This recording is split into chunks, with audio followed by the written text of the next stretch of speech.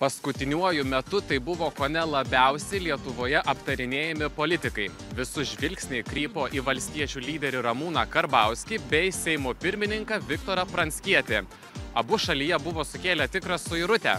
Neaišku juoda ar balta bet kažkokia katė tarp jų tikrai buvo perbėgusi. Iš šalies stebėję šią dramą negailėjo ir aštresnių bei drąsesnių pasisakymų. Vieni mūru stojo už viktorą pranckietį kiti sekė paskui ramūną karbauskį tačiau ką galvoja paprasti žmonės?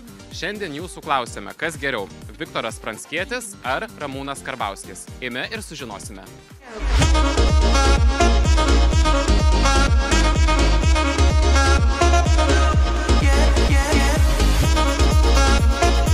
Kas geriau viktoras pranckietis ar ramūnas karbauskis? Nei vienas, nei kitas, žinok. bet jeigu reikėtų rinktis vieną tai kurį? Tikrai ne Karbauskė.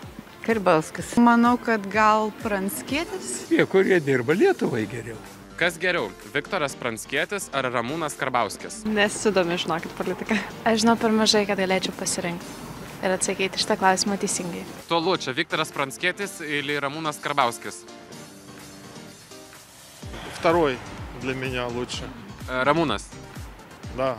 kas geriau viktoras pranckietis ar ramūnas karbauskis Jėzu, ar čia galima lyginti? Aišku, pranskėtis. Jau apie Karauską aš net nenoriu šnekėti. kas geriau viktoras pranckietis ar ramūnas karbauskis Nežinau, neįsivaizduoju. Geras klausimas, iš tikrųjų nesidomi politika, tai net neatsakinėsiu šitą klausimą. Nei vienas. viktoras pranckietis ar ramūnas karbauskis Abu negerai.